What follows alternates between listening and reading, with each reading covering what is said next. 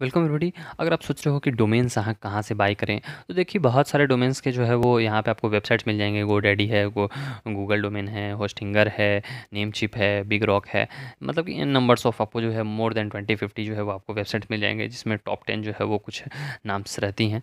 तो किससे जो है वो डोमेन परचेज़ करना चाहिए? देखिए, पहली बात कि डोमेन्स से जो है वो कुछ भी आपका ट्रैफ़िक पे इशू नहीं आएगा, ओके? ये बात तो आप समझ लें, ओके? उसका सब डोमेन ये सभी भी सब जगह आपको क्रिएट करने को मिल जाती है तो ज़्यादा सोचना नहीं है। आप कहीं से भी जो है वो डोमेन परचेज़ कर सकते हैं। हाँ थोड़ा सस्ता और ठीक ठाक मिले। जैसे कुछ मैं आपको बता देता हूँ, चार पाँच ऑप्शन यहाँ से अगर आपको मिलते हैं, जिसमें भी पैसा कम लगे आपका, पैसा कम लगे और कस्टमर सपोर्ट तो सब जगह की ठीक ही ठाक रहती है। बात बाकी आपके अपने ऊपर कस्टमाइजेशन के ऊपर है कि आप जो है वो कैसे मैनेज करते हो और कहाँ जो है यूज़ करना चाहते हो, सब डोमेन्स क्या क्या क्रिएट कर रहे हो, ये सभी आपके ऊपर है।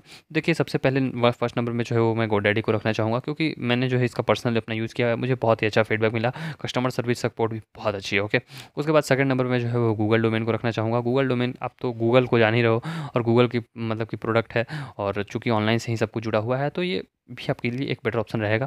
प्राइसेस जो है वो आप देख लेना शॉर्ट टर्म में भी लॉन्ग टर्म में भी। मीन्स अगर आप जो है वो फाइव ईयर्स के लिए भी देख लेना टू ईयर्स के लिए भी देख लेना और टेन ईयर्स के भी देख लेना। मतलब एक साल के लिए कितनी लग रही है? दो साल के लिए और दस साल के लिए। तो मतलब ऐसे जो है वो आपको पता चल पाएगा कि अगर मैं लॉन्ग टर्म में भी अगर काम करता हूँ तो क्या इस डोमेन्स में इस कंपनी से जो है मुझे कोई तकरार तो नहीं होगी? ऐसा इशू तो नहीं होगा?